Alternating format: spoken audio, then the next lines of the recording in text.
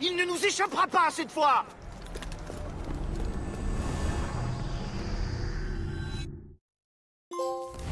Eh merde Que s'est-il passé?